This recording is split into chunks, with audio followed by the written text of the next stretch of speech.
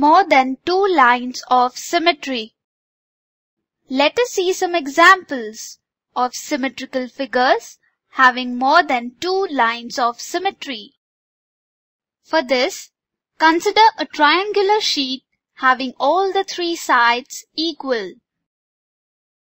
Fold it into half along one vertex such that the two halves exactly coincide with each other. Repeat the same process for the other two vertices also.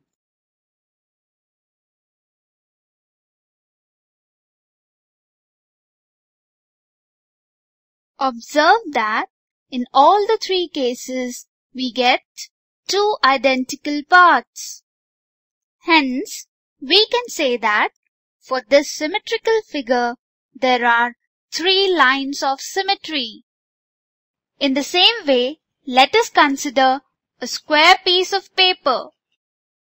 Fold it into half vertically, horizontally, and also along both the diagonals as shown here. Observe that every time we get two identical parts. Hence, we can say that the given piece of square paper is symmetrical along four lines of symmetry. Similarly, a circle has multiple lines of symmetry as shown here. We can use this knowledge for constructing figures with two or more lines of symmetry starting from a small part. For example, consider this given figure. We want to complete it so that we get a figure with two lines of symmetry. For this, draw two perpendicular lines A and B such that one end of the figure lies on line A and the other end lies on line B.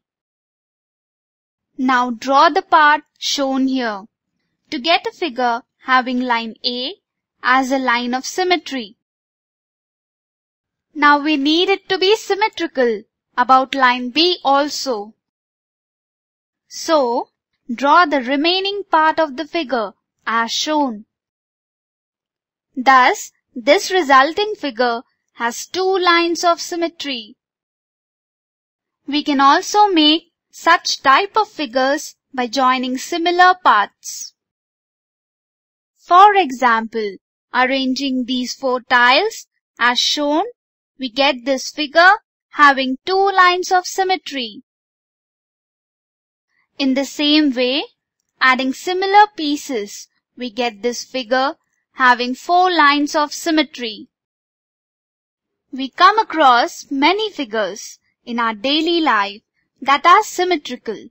For example, many road signs that we see every day have lines of symmetry.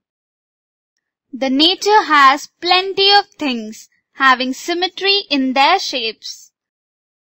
Also, these beautiful figures known as Koch snowflake have symmetric patterns.